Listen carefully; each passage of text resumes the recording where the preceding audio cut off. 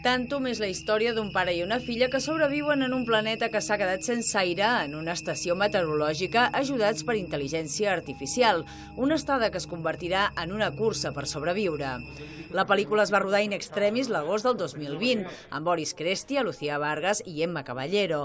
La idea és que pugui sortir publicada en una plataforma amb tecnologia blockchain que prepara la productora del film Undercover Lab, on els que paguin per visionar-la tinguin una contraprestació econòmica.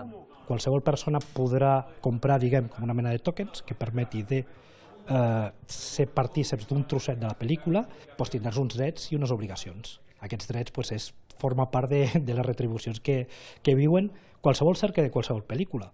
Si existeix dintre la plataforma, si surt de la plataforma, si té publicitat, arribaràs a tindre pues, una part de tot el que està passant aquí dintre.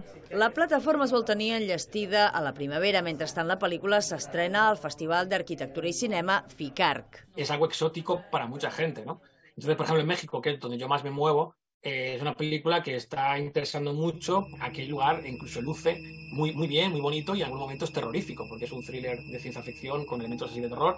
Y la verdad es que luce bastante bien, la animación está, está muy bien y fue bastante divertido rodar ahí. Avui passarà al Festival de Barcelona i divendres concorrerà a l'edició de Madrid. En el futur, l'equip que ara treballa a Mèxic promet tornar a rodar a Andorra amb una nova història de l'univers Tantum.